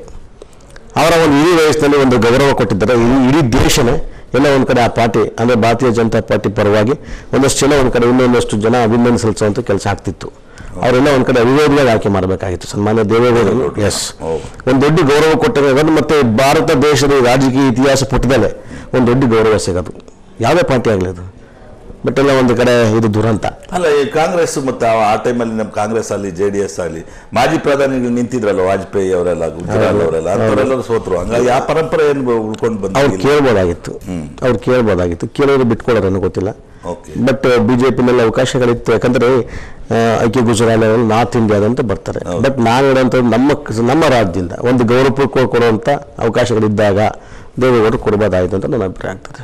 ಓಕೆ. ವಿರಾಮ ತಗೊಳ್ಳೋಣ ವಿರಾಮ. ಸರ್ ಈಗ ದೇವೇಗೌಡರು ಭಾಳ ದೊಡ್ಡ ವ್ಯಕ್ತಿ ಮತ್ತು ಮಾಜಿ ಪ್ರಧಾನಿಗಳು. ತುಮಕೂರಿಗೆ ಒಂದು ಗೌರವ ಕೊಟ್ಟು ಅವಿರೋಧವಾಗಿ ಆಯ್ಕೆ ಮಾಡಬೇಕು ಅಂತಿದ್ರಿ. ಜನಸಾಮಾನ್ಯರಿಗೆ ಎಷ್ಟು ಮಟ್ಟಿಗೆ ಅವರು ನಿಲುಕ್ತಾರೆ ಅಥವಾ ಕೈಗೆ ಸಿಗ್ತಾರೆ ಅನ್ನೋದ್ರ ಬಗ್ಗೆ ನೀವು ತಮ್ಮ ಅಭಿಪ್ರಾಯ ಏನು? ಜನ ಅದನ್ನು ಮಾತಾಡ್ತಾರೆ ನಮ್ಮ ಕೈ ಸಿಗ್ತಾರೆ ಅನ್ಸಿರೋದ್ರೆ. ಮತ್ತು ಅವ್ರ ವಯಸ್ಸಿನ ಇತಿಮಿತಿ ಒಳಗಡೆ ಹೇಗೆ? ನೋಡಿ ಈಗ ದೇವೇಗೌಡರು ಈಗ ದೇವೇಗೌಡರು ಎಲ್ಲಿ ಸಿಗ್ತಾರೆ ಎಲ್ಲಿ ಸಿಗ್ತಾರೆ ನೋಡಿ ಬೆಂಗಳೂರು ಬಿಟ್ಟರೆ ಪಾಪ ಎಲ್ಲಿ ಹೋಗಲ್ಲ ದೇವೇಗೌಡರು. ಬೆಂಗಳೂರು ಬಿಟ್ಟರೆ ಬೆಂಗಳೂರು ಸಿಗ್ತಾರೆ ಪಾಪ. ಆಮೇಲೆ ಇನ್ನೊಂದು ಕಾಳಜಿ ಇದೆ. ಲೋಕಸಭಾ ಸದಸ್ಯರಾಗಿ ಆಯ್ಕೆ ಮಾಡಿಕೊಟ್ಟ ನಂತರ ಅವರು ಸಹಜವಾಗಿ ಹಾಸನಲ್ಲಿ ಕೂಡ ಆದಾಗ ಎಂ ಪಿ ಆದಂಥ ಸಂದರ್ಭ ಇದೆಯಲ್ಲ, ವಾರಕ್ಕೆ ಎರಡು ಸರಿ, ಮೂರು ಸರಿ ಹಾಸನ್ಗೆ ಹೋಗುವಂಥದ್ದು ಪ್ರವೃತ್ತಿ ಬೆಳೆಸ್ಕೊಂಬಂದಾರೆ ತುಮಕೂರಿನಲ್ಲಿ ಕೂಡ ಜನ ನಮ್ಮನ್ನ ಆಯ್ಕೆ ಮಾಡಿ ಕಳಿಸಿದ ನಂತರ ಇನ್ನು ಕೂಡ ವಾರಕ್ಕೆ ಎರಡು ಸರಿ, ಮೂರು ಸರಿ, ಮತ್ತು ನಾವು ಎಂ ಎಲ್ ಎಗಳೆಲ್ಲ ಇದ್ದೀವಿ, ಸರ್ಕಾರ ಇದೆ, ನಾವೆಲ್ಲ ಒಟ್ಟಿಗಿದ್ದೀವಿ. ದರ್ ಇಸ್ ನೋ ಪ್ರಾಬ್ಲಮ್ ಮತ್ತು ವಿಶೇಷ ಏನಂದರೆ, ಇಲ್ಲಿ ಈಗ ಇವ್ರು ಹೇಳ್ತಾರೆ ಪುಣ್ಯಾತ್ಮರು ಬಿ ಬಿ ಜೆ ಪಿನವ್ರು ಹೇಳ್ತಾರೆ ನಾನು ಗಮನಿಸ್ತಾ ಇದ್ದೀನಿ. ಮೋದಿ ನೋಡಿ ಓಟ್ ಹಾಕಿ ಅಂತ ಹೇಳ್ತಾರೆ. ಅವ್ರನ್ನ ಹಿಡ್ಕೊಂಡು ಹೋಗ್ಬೇಕು ನಾವು. ದೇವೇಗೌಡರು ಬೆಂಗಳೂರಿನ ಸಿಗ್ತಾರೆ. ಇಲ್ಲಿ ಬಸವರಾಜ್ ನೋಡಿ ಓಟ್ ಹಾಕಿ ಅಂತ ಬಿ ಜೆ ಪಿ ಕೇಳ್ತಾ ಇಲ್ಲ. ಮೋದಿ ನೋಡಿ ಓಟ್ ಹಾಕಿ ಅಂತಾರೆ. ಮೋದಿನ ನಾವೇನು ಹಿಡ್ಕೊಂಡು ಹೋಗೋದು? ನನ್ನ ಪ್ರಶ್ನೆ ಅಷ್ಟೇ. ಜನ ಅರ್ಥ ಮಾಡ್ಕೋಬೇಕಿಂದ ಅಷ್ಟೇ. ಸುರೇಶ್ ಗೌಡರು ಮತ್ತೆ ಮಾಧುಸ್ವಾಮಿ ಜೆ ಡಿ ಎಸ್ ಮೇಲೆ ವಾಗ್ದಾಳಿ ನಡೆಸ್ತಲೇ ಇರ್ತಾರೆ. ಅಷ್ಟು ಮಟ್ಟಿಗೆ ಜೆ ಡಿ ಎಸ್ ಇದಾಗಿದೆ ಅಂತ ತಮ್ಗನ್ಸುತ್ತಾ ಅವರು ಮಾತಾಡ ತಮ್ಮ ಸವಾಲು ವಿರೋಧಿಗಳ ಹತಾಶ ಮನೋಭಾವ. ಅಂದರೆ ಎದುರಾಳಿಯ ಭಯ. ಅಂದರೆ ಈಗ ಬೇರೆ ಯಾರು ಅಭ್ಯರ್ಥಿ ಆಗಿದ್ರೆ ಅವರ ಈ ನಡವಳಿಕೆ ಇರ್ತಿರ್ಲಿಲ್ಲ ದೇವೇಗೌಡರು ಅಭ್ಯರ್ಥಿ ಆದ್ಮೇಲೆ ಈ ನಡವಳಿಕೆ ಯಾಕೆ ತೋರಿಸ್ತಾರೆ ಅಂದರೆ ಅವ್ರ ಹತಾಶೆ ಮನೋಭಾವ. ಎಲ್ಲ ಸೋಲ್ನ ಒಪ್ಕೊಳ್ಳೋವಂಥ ನಿಟ್ಟಿನಲ್ಲಿ ಅವರು ಆ ಭಾಷೆಗಳು ಗೊತ್ತಾಗ್ತದೆ. ಆ ನಡವಳಿಕೆ ಜನ ನೋಡ್ತಾ ಇರ್ತಾರೆ. ಯಾರ ಯೋಗ್ಯತೆ ಏನು ಅನ್ನೋಂಥದ್ದನ್ನು ಜನ ಗಮನಿಸ್ತಾ ಇರ್ತಾರೆ. ಜನ ಆನ್ಸರ್ ಮಾಡ್ತಾರೆ ಅದಕ್ಕೆ. ಆದರೆ ತಮ್ಮ ನೇರವಾದ ಉತ್ತರ ಅದು. ಅಷ್ಟೇ ಖಂಡಿತ. ಖಂಡಿತ ಖಂಡಿತ. ಖಂಡಿತ ಖಂಡಿತ ಖಂಡಿತ ದೇವೇಗೌಡರ ಮೇಲಿರೋ ಆಪಾದನೆ ನಾನು ಆಗಲೇ ಮಾತಾಡ್ದಂಗೆ ಹೇಮಾವತಿ ನೀರಿಂದ. ಈಗ ಮತ್ತೆ ಹೇಮಾವತಿ ಇಶ್ಯೂನ ಕುಟುಂಬದ ರಾಜಕಾರಣದ ಜೊತೆಗೆ ಬೆಸೆದು ತುಮಕೂರಿನ ಜಲ್ಲೆ ರೈ ರೈತರಿಗೆ ತೀರಾ ಅನ್ಯಾಯ ಮಾಡಿದ್ದು ಹೇಮಾವತಿ ಮತ್ತೆ ಕುಡಿಯಕ್ಕೆ ಕೂಡ ನೀರಿಲ್ದಂಗೆ ಅಂತಾನೆ ಹೇಳ್ತಾ ಇದ್ದಾರೆ. ಲೋಕಲ್ ಆಗಿ ಅದು ದೊಡ್ಡ ಒಂದು ಸವಾಲಾಗಿ ಪರಿಣಾಮ ಆಯ್ತು. ಇದನ್ನ ಎದುರಿಸಕ್ಕೆ ತಾವು ತಮ್ಮ ಅಭಿಪ್ರಾಯಗಳೇನಿದೆ? ನೋಡಿ ಈಗ ನಿನ್ನೆ ಒಂದು ಪುತ್ರ ಸನ್ಮಾನ್ಯ ಎರಡು ಸಾವಿರದ ಐದು ಅಂತ ಕಾಣಿಸುತ್ತೆ. ಸನ್ಮಾನ್ಯ ದೇವೇಗೌಡರನ್ನು ಚಿಕ್ಕನ ಆದ್ಮೇಲೆ ನೀರು ಹರಿಸ್ಬೇಕು ಅನ್ನೋಂಥದ್ದು ವಿಚಾರವಾಗಿ ಪತ್ರ ಬರೆದಿದ್ರು ಒಂದ್ಸರಿ. ಆ ಲೆಟರ್ ನನಗೆ ಸಿಕ್ಕೈತೆ. ನಾನು ಪೇಪರ್ ಪೇಪರ್ ಓದ್ತಿದ್ದೆ ಆ ವಿಚಾರವಾಗಿ. ನೋಡಿ ಅಷ್ಟು ಕಾಳಜಿ ಇರೋವಂಥವ್ರು ನೋಡಿ ಹೇಮಾವತಿ ಸಬ್ಜೆಕ್ಟ್ ಇಟ್ಕೊಂಡು ರಾಜಕಾರಣ ಮಾಡೋದು ಮೂರ್ಖತನ. ಯಾಕಂದರೆ ದೇವೇಗೌಡರು ಬಂದರೆ ದೇವೇಗೌಡರು ನಾವೆಲ್ಲ ಒಂದು ಕಡೆ ಜಿಲ್ಲೆಯಿಂದ ಆಯ್ಕೆ ಮಾಡಿ ಕಳಿಸಿದ್ರೆ ಹೇಮಾವತಿ ಸರಾಗ ಹರಿತಾಳೆ ತುಮಕೂರಿಗೆ. ಓಕೆ. ಸರಾಗವಾಗಿ ನೀರು ಬರ್ತದೆ ಎಲ್ಲ ಕೆರೆಗಳನ್ನ ತುಂಬಿಸ್ಕೋಬೋದು ರೈತರು. ನಾವು ಕೂಡ ನಮ್ಮ ಕಾನ್ಸ್ಟಿಟ್ಯೂನ್ಸಿಗಳಲ್ಲಿ ಲಿಫ್ಟ್ ಇರಿಗೇಷನ್ ಮಾಡೋದು ನಮ್ಮ ಭಾಗದಲ್ಲಿ. ಸುಮಾರು ನಲವತ್ತು ಕೆರೆ ಹೆಚ್ಚು ನಲವತ್ತಕ್ಕಿಂತ ಹೆಚ್ಚು ಕೆರೆಗಳಿಗೆ ಲಿಫ್ಟ್ ಇರಿಗೇಷನ್ ಮಾಡೋರು. ಎಷ್ಟು ಕೆರೆ ತುಂಬಿಸೋರು ಅವರು? ಕೆರೆ ರೋಡ್ನಲ್ಲಿ ಹೋಗಿ ಬರಲಿ ಜನ ಅಂತೇಳಿ ಆ ನಾಗವಲ್ಲಿ ಒಂದು ಸ್ವಲ್ಪ ಮತ್ತು ಒಲಿಕೆ ಬಿಟ್ಟರೆ ಇನ್ನು ಉಳಿಕೆ ಲಿಫ್ಟ್ ಇರಿಗೇಷನ್ ಮೂಲಕ ನೀವು ನೀರು ಕೊಡ್ತೀವಿ ಅಂತೇಳಿ ಎಷ್ಟು ಕೆರೆ ತುಂಬಿಸುತ್ತೆ ಫುಲ್ ಫೇಲ್ಯೂರ್ ಅದು ಅನ್ಸೈಂಟಿಫಿಕಲಿ ಫುಲ್ ಫೇಲ್ಯೂರ್ ಅದು. ಈ ಲಿಫ್ಟ್ ಇರಿಗೇಷನ್ ಪ್ರಾಜೆಕ್ಟು ಸೊ ನನಗೆ ಗೊತ್ತಿರೋ ಪ್ರಕಾರ ಏನು ಇವತ್ತು ಇಪ್ಪತ್ನಾಲ್ಕು ಟಿ ಎಂ ಸಿ ನೀರು ಕೊಡಬೇಕು ಅಂತ ಇದೆ ತುಮಕೂರಿಗೆ ಅದನ್ನು ಡ್ರಾ ಮಾಡ್ಕೊಳ್ಳೋಕೆ ನಮ್ಮ ಶಕ್ತಿ ಇಲ್ಲ. ಚಾನಲ್ ಎಲ್ಲ ಒಂದು ಕಡೆ ಸ್ಟ್ರೆಂತ್ ಇಲ್ಲ ಅದಕ್ಕೆ ಸೊ ಈಗಾಗಲೇ ಮೊನ್ನೆ ಬಜೆಟಲ್ಲಿ ಕುಮಾರಸ್ವಾಮಿ ಅವರು ಘೋಷಣೆ ಮಾಡಿರುವಂಥದ್ದು ಆಧುನೀಕರಣ ಮಾಡಲಿಕ್ಕೆ ಅಂತೇಳಿ ಚಾನಲ್ನ ಒಂದು ಇನ್ನೂರು ಕೋಟಿ ರೂಪಾಯಿ ರಿಸರ್ವೇಷನ್ ಇಟ್ಟಿರುವಂಥದ್ದು ಇವೆಲ್ಲ ನಮ್ಮ ಚಾನಲ್ ಆಧುನೀಕರಣ ಆಗಿ ಡೆವಲಪ್ಮೆಂಟ್ ಆದರೆ hundred percent we can draw the water this no problem ಆಮೇಲೆ ಆಮೇಲೆ ದೇವೇಗೌಡರು ಈ has got some different ideas ನೀವು ನೀರಾವರಿ ಯೋಜನೆಗಳು ಬಂದಾಗ ಅವರದೇ ಆದಂಥ ಒಂದು ಶಕ್ತಿ ಇದೆ. ಮತ್ತು ಅವ್ರದೇ ಆದಂಥ ಒಂದು ಪ್ಲಾನ್ಸ್ ಇದೆ. ಅವ್ರು ಇಂಪ್ಲಿಮೆಂಟ್ ಮಾಡ್ತಾರೆ. ಈ ಬರೀ ದೇವೇಗೌಡರು ಒಂದು ಹೆಸರು ಲೋಕಸಭೆನಲ್ಲಿ ಹೇಮಾವತಿ ಸರಾಗವಾಗಿ ಹರಿಬೇಕು ಅಂದರೆ ನೋಡಿ ಸುಮ್ಮನೆ ಚುನಾವಣೆ ಟೈಮಲ್ಲಿ ಪೊಳ್ಳು ಸ್ಥಳ ಕೋರ್ದಂಗೆ ಕೆಲವ್ರು ನಾವು ಹೇಳುವಂಥದ್ದು. ಏನಾದ್ರು ಹೇಮಾವತಿ ಸರಾಗವಾಗಿ ನಮ್ಮ ತುಮಕೂರು ಜಿಲ್ಲೆಗೆ ಬಂದು ಎಲ್ಲ ಕೆರೆಗಳು ತುಂಬಿಸ್ಬೇಕು ಅಂದರೆ ಒಂದೇ ಇರೋದು ದಾರಿ ಅದಕ್ಕೆ ಸನ್ಮಾನ್ಯ ದೇವೇಗೌಡರು ಆಯ್ಕೆ. ಜನ ಮತ್ತೀಗ ನೀವು ಹೇಮಾವತಿ ಇಶ್ಯೂ ದೇವೇಗೌಡರನ್ನ ಅಕಸ್ಮಾತ್ ಗೆಲ್ಲಿಸದಿದ್ರೆ ಮತ್ತೆ ಹೇಮಾವತಿ ಬರಲ್ಲ ಅಂತೀರಾ? ಅಲ್ಲ ಗೆಲ್ಲಿಸ್ತೀವಿ ನಾವು ಹೋರಾಟ ಮಾಡ್ತೀವಿ ಅಷ್ಟೇ. ಈಗ ದೇವೇಗೌಡರೆಲ್ಲ ಒಂದು ಕಡೆ ಈಗ ಸೆಂಟ್ರಲ್ ಗೌರ್ಮೆಂಟ್ ಈಗ ನೀರು ಯಾವುದೇ ನೀರಾವರಿ ಯೋಜನೆಗಳು ಬಂದಾಗ ಇಟ್ಸ್ ಕಮಾಂಡರ್ಸ್ ಸೆಂಟ್ರಲ್ ಗೌರ್ಮೆಂಟ್ ಯಾವುದೇ ಆಗಲಿ ಯಾವುದೇ ಇದಾಗಲಿ ಮಂಡಳಿಗಳಾದರೆ. ಸೊ ಆ ವಿಚಾರ ಅಕಸ್ಮಾತ್ ಕೇಳಿದೆ ಹೋದಂಥ ಸಂದರ್ಭ ಇದ್ದರೆ ನಾವು ಕೂಡ ಸಪೋರ್ಟ್ ಮಾಡ್ತೀವಿ. ಈವನ್ ಬಿ ಜೆ ಪಿನ ಇನ್ನೊಂದು ಯಾರೇ ಹಾಕಿ ಆದರೂ ಕೂಡ. ಒಂದು ಪಕ್ಷ ಹಂಗ ಆದರೆ ಆಗಲ್ಲ. We never expect this okay ಹಂಗೇನು ಆಯಿತು ಅಂದರೂ ಕೂಡ ಬಟ್ ಅವತ್ತು ಕೂಡ ನಾವು ಯಾರನ್ನ ಆಗಿಲ್ಲ ಅವರು ಅವ್ರ ಜೊತೆ ನಾವು ಕೈ ಜೋಡಿಸ್ಬಿಟ್ಟು ಹೇಮಾವತಿ ತಂದು ಪ್ರಾಮಾಣಿಕವಾಗಿ ಕೆಲಸ ಮಾಡ್ತೀವಿ. ಓಕೆ ಇಲ್ಲಿ ಹೇಮಾವತಿ ನೀರು ಇಪ್ಪತ್ನಾಲ್ಕು ಟಿ ಎಂ ಸಿ ತುಮಕೂರಿಗೆ ಅಲಾಟ್ಮೆಂಟ್ ಹನ್ನೊಂದು ಟಿ ಎಂ ಸಿ ಅಷ್ಟು ಈಗ ಬಂದಿದೆ ಸರ್. ತುಮಕೂರು ನೀರಿನಿಂದ ತತ್ತರಿಸ್ತಾ ಐತೆ ಕುಡಿಯೋ ನೀರಿಗೆ ಪ್ರಾಬ್ಲಮ್ ಆಗ್ತಾ ಐತೆ ಮೈದಾಳದ ಕೆರೆದಾಗ್ಲಿ ಬುಗುಡ್ನಹಳ್ಳಿ ಕೆರೆದಾಗ್ಲಿ. ಇರೋ ತೀರಾ ಇಶ್ಯೂಸ್ ಎಲ್ಲ ಇದೆ ಈಗ. ಈಗ ಜ್ವಲಂತ ಸಮಸ್ಯೆ ಅಂತ ತಾವು ಎದುರಿಸ್ತಾ ಇದ್ದೀರಿ. ಅದ್ರ ನಡುವೆ ಎಕ್ಸ್ಪ್ರೆಸ್ ಕೆನಾಲ್ ಮಾಡಬೇಕು ಅಂತೇಳಿ ಡಿ ಕೆ ಶಿವಕುಮಾರ್ ಅವರ ಒಂದು ಹುನ್ನಾರ ನಡೀತಾ ಇದೆ. ಇದಕ್ಕೆ ಜೆ ಡಿ ಎಸ್ ಸಪೋರ್ಟ್ ಇದೆ ಅಂತಾರೆ. ಏನು ಇದ್ರ ಬಗ್ಗೆ ತಮ್ಮ? ಒಂದು ನಿಮಿಷ ಇಲ್ಲಿ ಏನಾಗ್ತದೆ ನೋಡಿ ಈಗ ಯಾಕೆ ತುಮಕೂರು ಹೇಮಾವತಿ ಬಗ್ಗೆ ಚರ್ಚೆ ಮಾಡ್ತಿದ್ದೀರಿ? ಯಾಕೆ ನೀವು ಹಲವಾರು ಜಿಲ್ಲೆಗಳ ನೀರಿನ ಸಮಸ್ಯೆ ಉದಾಹರಣೆ ಮಹಾದಾಯಿ ಬಗ್ಗೆ ಯಾಕೆ ಡಿಸ್ಕಷನ್ ಮಾಡ್ತಾ ಇಲ್ಲ? ಮೈ ಕ್ವಶನ್ ಅದಕ್ಕೆ ಫಸ್ಟ್ ಉತ್ತರ ಕೊಡಬೇಕು ಇವರು. ಸ್ವಾಮಿ ನಾನು ಕೇಳುವಂಥದ್ದು ಸೆಂಟ್ರಲ್ ಗೌರ್ಮೆಂಟಲ್ಲಿ ಬಿ ಜೆ ಪಿ ಇದ್ಕೊಂಡು ಗೋವಾದಲ್ಲಿ ಬಿ ಜೆ ಪಿ ಸರ್ಕಾರ ಇಟ್ಕೊಂಡು ಇಷ್ಟೆಲ್ಲ ಇದ್ದಾಗ ಕರ್ನಾಟಕ ರಾಜ್ಯಕ್ಕೆಲ್ಲ ಒಂದು ಕಡೆ ಇಬ್ಬರು ಎಂ ಪಿ ಇರುವಂಥ ಸ್ಟೇಟ್ಗೆ ನೀವು ಹೋಗಿ ಇಪ್ಪತ್ತೆಂಟು ಜನ ಎಂ ಎಲ್ ಎ ಎಂ ಪಿಗಳಿರೋಂಥ ನಮ್ಮ ಕರ್ನಾಟಕ ರಾಜ್ಯಕ್ಕೆಲ್ಲ ಒಂದು ಕಡೆ ಅನ್ಯಾಯ ಮಾಡ್ತಿರಲ್ಲ. ಕಳಸ ಬಂಡೂರು ಎಸ್ ಫಸ್ಟ್ ಕಳಸ ಬಂಡಿದಾಗ್ಬೋದು ಮಹಾದ ಯೋಜನೆಗಳು ದಯವಿಟ್ಟು ಅದಕ್ಕೆ ಉತ್ತರ ಕೊಡಲಿ ಫಸ್ಟು ಆಮೇಲೆ ಹೇಮಾವತಿ ಬಗ್ಗೆ ಚರ್ಚೆ ಮಾಡಲಿ. ಸರ್ಕಾರ ಸೆಂಟ್ರಲ್ ಗೌರ್ಮೆಂಟ್ ಇಟ್ಕೊಂಡೇ ಮಾಡೋ ಯೋಜನೆ ನಮ್ಮ ನಾವು ಉತ್ತರ ಕರ್ನಾಟಕದವ್ರಿಗೆಲ್ಲ ಒಂದು ಕಡೆ ಅನ್ಯಾಯ ಆಗ್ತೈತೆ. ಅದನ್ನು ಸರಿಪಡಿಸುವಂಥ ಕೆಲಸ ಮಾಡ್ತಿಲ್ಲ. ಸುಮ್ಮನೆ ರಾಜಕೀಯ ಗೀಮಿಗೋಸ್ಕರ ಅದನ್ನು ಹೇಮಾವತಿ ಅಂತೇಳಿ ತರ್ತಾರೆ ಅಷ್ಟೇ ಬಿಟ್ಟಿರಲಿಲ್ಲ ಹೇಮಾವತಿ ಸರಾಗವಾಗಿ ಅರಿಬೇಕು ಅಂದರೆ ನಾನು ಹೇಳಿದ್ನಲ್ಲ? ಒನ್ಲಿ ಒನ್ ಒಂದು one man. Yes.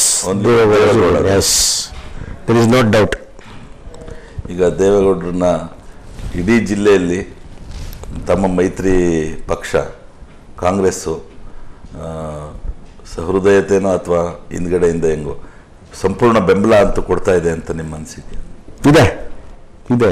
There is no doubt ನನಗೆ ಈಗ ನಾನು ನಾನೇ ನಮ್ಮ ತಾಲೂಕಿನಲ್ಲಿ ಚುನಾವಣೆ ಪ್ರಚಾರಗಳು ಮಾಡ್ತಾ ಇದ್ದೀನಿ. ಆಲ್ಮೋಸ್ಟ್ ಎಲ್ಲ ಪ್ರತಿಯೊಬ್ಬ ಕಾಂಗ್ರೆಸ್ ನಾಯಕರು ನನ್ನ ಜೊತೆ ಕೈ ಜೋಡಿಸಿ ಕೆಲಸ ಮಾಡ್ತಾ ಇದ್ವಿ. ಅದೇ ರೀತಿ ಎಲ್ಲ ತಾಲೂಕಲ್ಲಿ ನಡೀತಾ ಇದೆ. No there is no problem Tumakuru ಗ್ರಾಮಾಂತರ ಕ್ಷೇತ್ರದ ವಿಶೇಷವಾಗಿ ತಮ್ಮ ಆ, ಚಾಕಚಕ್ಯತೆನೆ ಅಥವಾ ಚಾಣಾಕ್ಷತೆಯಿಂದ ನಡೀತಾ ಇದೆ ಅಂತ ಒಂದು ಕಡೆ ಇದ್ದರೆ ಇಡೀ ಜಿಲ್ಲೆಯ ಎಂಟು ತಾಲೂಕುಗಳ ಮತ್ತು ಇಲ್ಲಿವರೆಗೂ ಕೊರಟಗೆರೆ ಮತ್ತು ಮಧುಗಿರಿ ಅಂತ ಕಾನ್ಸ್ಟಿಟ್ಯೆನ್ಸಿಗಳು ಮತ್ತು ನಿಮ್ಮ ಜೆ ಡಿ ಎಸ್ ಇರೋಂಥ ಗುಬ್ಬಿ ಗುಬ್ಬಿ ಇದೆ. ಇಲ್ಲೆಲ್ಲ ಕಾಂಗ್ರೆಸ್ ಮುಖಂಡರು ಸ್ವಲ್ಪ ಮಟ್ಟಿಗೆ ಇರ್ಸ್ ಮುರ್ಸ್ನಲ್ಲಿದ್ದರು ಯಾವ ಕಾರ್ಯತಂತ್ರಗಳಿಂದ ಅವ್ರನ್ನ ತಮ್ಮ ಹತ್ರ ಸೆಳ್ಕೊಳ್ಳೋಕ್ಕೆ ಅಥವಾ ಜೆ ಡಿ ಎಸ್ ಕಡೆ ದೇವೇಗೌಡರ ಪರವಾಗಿ ಮಾಡ್ಕೊಳ್ಳೋಕ್ಕೆ ನೋಡಿ ನಮ್ಮ ಮೈಸೂರು ಪ್ರಾಂತ್ಯ ಇದೆಯಲ್ಲ?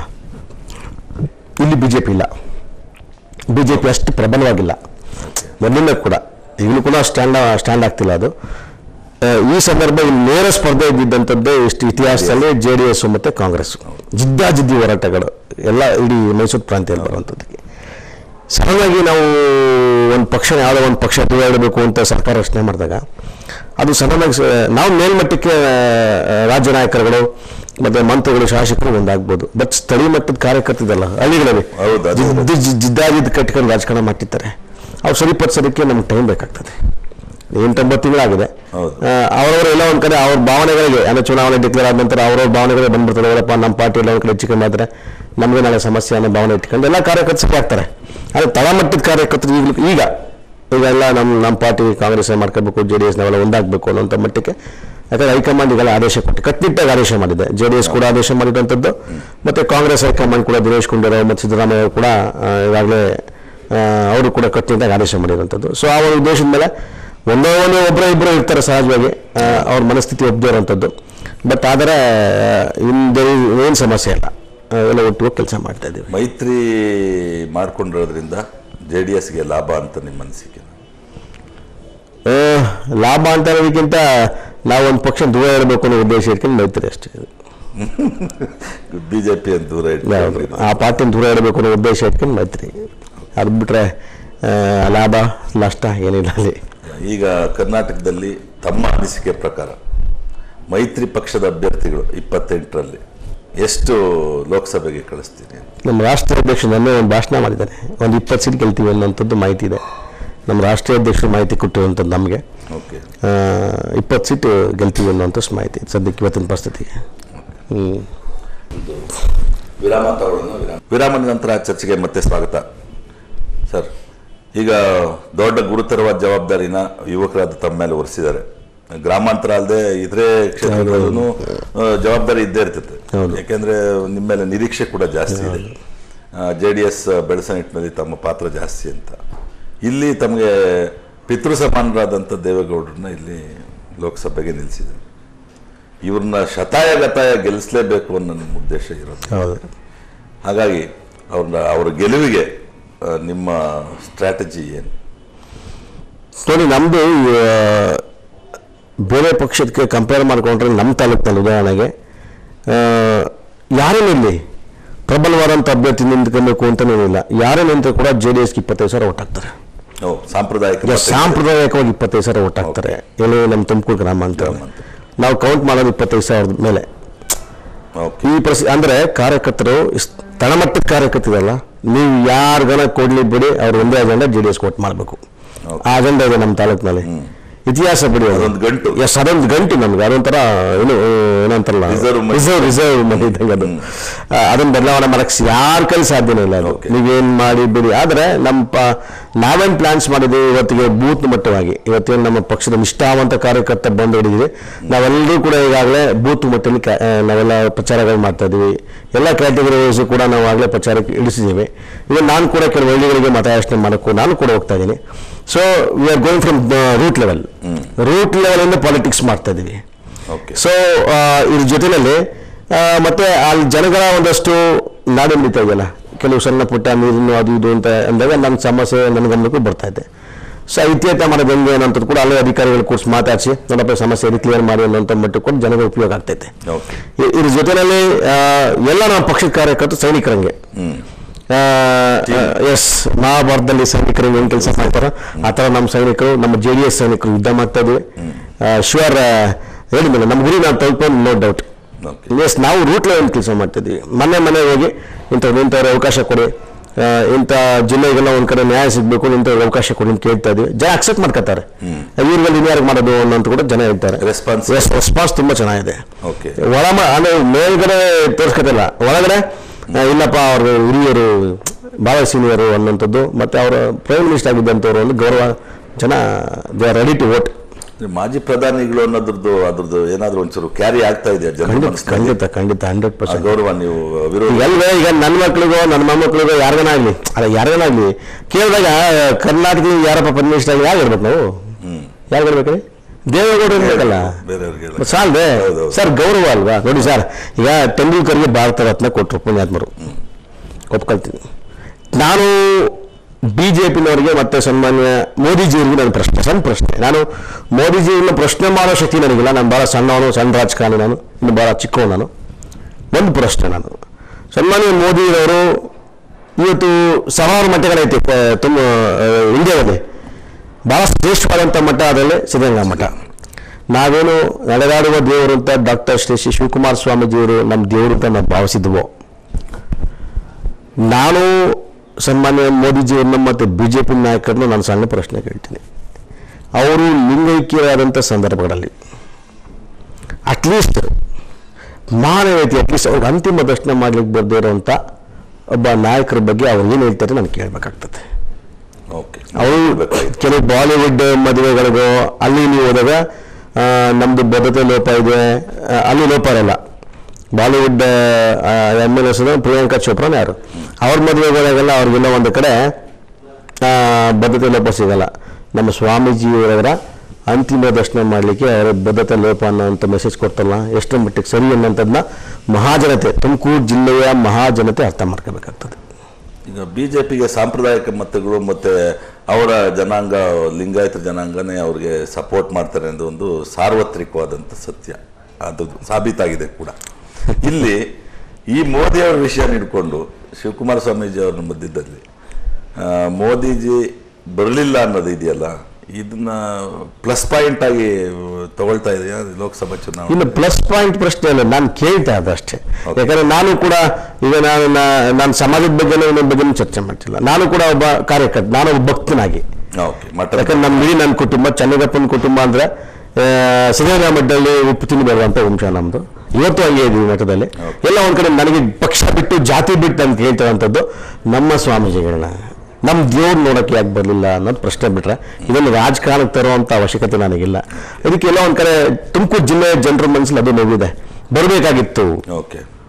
ಅನ್ನೋವಂಥದ್ದು ಮ- ನೋವಿದೆ. ಯಾಕಂದ್ರೆ ನಾನು ಸಾ ಸ್ವಾಭಾವಿಕವಾಗಿ ಜನರು ನನ್ನ ಹತ್ರ ಹೇಳಿರುವಂಥದ್ದು ಹೌದು. ಯಾಕೆ ಬರಬೇಕಾಗಿತ್ತು ಅನ್ನುವಂಥದ್ದು. ಸೊ ಅದನ್ನು ನಾನು ಇವತ್ತು ಪ್ರಸ್ತಾಪನೆ ಮಾಡ್ತಾ ಇದ್ದೀನಿ ಅಷ್ಟೇ. ಓಕೆ. ಆಲ್ ರೈಟ್ ಸರ್ ಈಗ ಇಡೀ ಜಿಲ್ಲೆ ಜನತೆಗೆ ತಮ್ಮ ಅಭ್ಯರ್ಥಿಯ ಪರವಾಗಿ ದೇವೇಗೌಡರ ಪರವಾಗಿ. ತಮ್ಮ ಜೆ ಡಿ ಎಸ್ ಮತ್ತು ಮೈತ್ರಿ ಪಕ್ಷದ ಕಾಂಗ್ರೆಸ್ನ ಕಾರ್ಯಕರ್ತರಿಗೆ ತಮ್ಮ ಸಂದೇಶ ಏನು? ನಾನು ನಮ್ಮ ಜಿಲ್ಲೆಯ ಮಹಾಜನತೆಗೆ, ನಮ್ಮ ರೈತ ಕುಟುಂಬಗಳಿಗೆ, ಮತ್ತು ಮಣ್ಣಿನ ಮಕ್ಕಳಿಗೆ ಪ್ರಬಲವಾಗಿಲ್ಲ. ಒಂದು ಕಡೆ ಇಡೀ ಜಿಲ್ಲೆ ಇವತ್ತೇನು ನೂರಕ್ಕೆ ನೂರಷ್ಟು ರೈತರ ಕುಟುಂಬಗಳು ಇವತ್ತು ವಾಸ ಮಾಡ್ತಿರ್ತಕ್ಕಂಥ ನಮ್ಮ ತುಮಕೂರು ಮಹಾ ಜಿಲ್ಲೆಯ ಜನತೆಗೆ ಮತ್ತು ರೈತರಿಗೆ ದಯವಿಟ್ಟು ನೀವೆಲ್ಲರೂ ಈ ಬಾರಿ ಸನ್ಮಾನ್ಯ ನಮ್ಮ ದೇವೇಗೌಡರಿಗೆ ಹೆಚ್ಚಿನ ಮತಗಳನ್ನ ಕೊಟ್ಟು ಆ ಮಣ್ಣಿನ ಮಗ ಅಂತ ತಾವೇನು ಬಿಡ್ತು ಕೊಟ್ಟಿದ್ದೀರಿ ಅವ್ರಿಗೆ ಹೆಚ್ಚಿನ ಮತ ಕೊಟ್ಟು ಲೋಕಸಭೆಯಲ್ಲಿ ಒಬ್ಬ ರೈತರ ಪರವಾಗಿ ಮಾತನಾಡುವಂಥದ್ದು ಮತ್ತು ರೈತರ ಕೂಗಿಗೆ ಅವ್ರ ಸಂಕಷ್ಟಕ್ಕೆ ಅವ್ರ ಧ್ವನಿಗೂಡಿಸುವಂಥ ಮತ್ತು ಅಲ್ಲಿ ಮಾತನಾಡುವಂಥ ಶಕ್ತಿನ ದಯವಿಟ್ಟು ತುಮಕೂರು ಜಿಲ್ಲೆಯ ಮಹಾಜನತೆ ಅವ್ರು ಕೊಟ್ಟು ಆಶೀರ್ವಾದ ಮಾಡಿ ಕಳಿಸ್ಕೊಡ್ಬೇಕು ಅಂತೇಳಿ ನಾನು ನಮ್ಮ ತುಮಕೂರು ಜಿಲ್ಲೆಯಲ್ಲಿ ಮನವಿ ಮಾಡ್ತೇನೆ. ಥ್ಯಾಂಕ್ ಯು ಸರ್ ಧನ್ಯವಾದಗಳು. ನಮಸ್ಕಾರ.